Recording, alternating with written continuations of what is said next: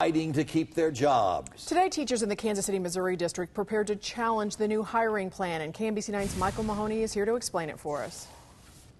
Indeed. All afternoon, some teachers have been shuttling in and out of this office building behind me here because that's where the union offices are for the American Federation of Teachers in Kansas City.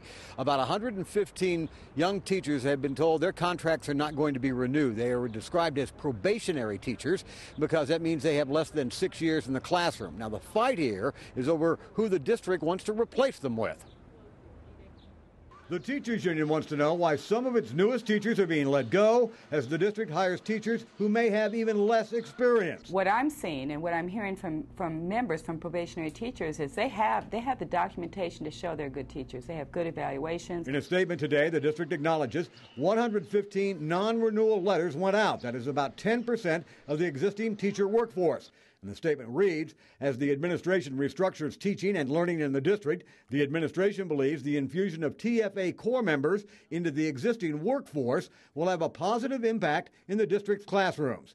Now, TFA stands for Teach for America, a project aimed at getting recent college graduates to pledge to teach in urban school districts where sometimes it's tough to hire but it's a limited teaching commitment. The majority of Teach for America teachers after two years leave our district. You know, we want teachers that are going to stay the long run, that are going to be with our kids.